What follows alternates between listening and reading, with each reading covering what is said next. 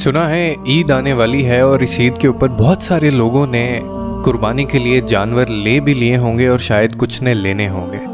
इससे पहले कि तुम कोई भी जानवर लो या उसको कुर्बान करो, मेरी बात लाजमी सुन लेना।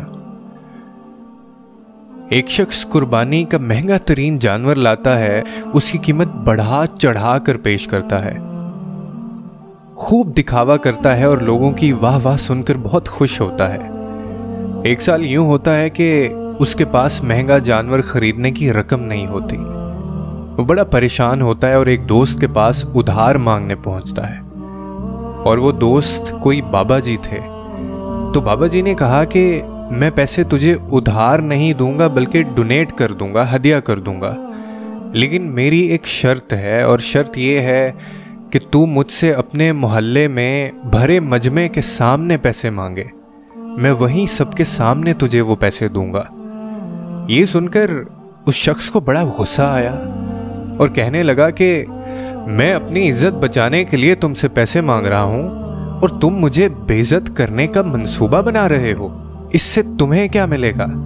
तो बाबा जी ने कहा कि मैं भी दिखावा करके लोगों की वाह वाह समेटूँगा। वो शख्स कहने लगा, नहीं, मुझे तुम्हारी ये शर्त बिल्कुल मंजूर नहीं है। मेरी तो नाक कट जाएगी सबके सामने। तो बाबा जी ने फरमाया, मेरे दोस्त, तू भी कितना अजीब है। तू खुद तो दिखावे में दी गई रकम को कबूल नहीं करता, और ज़मीनों, आसमान के ख़जानों का जो मालिक है, उससे तू ये तो रखता है कि वो तेरा दिखावा कबूल कर लेगा। ऐसा कभी नहीं हो सकता।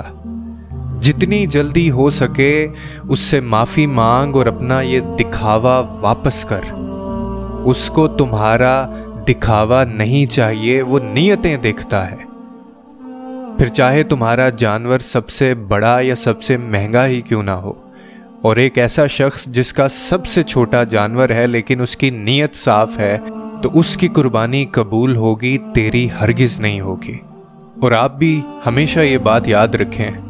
कि खुदा को हमारा दिखावा नहीं हमारी नीयत चाहिए।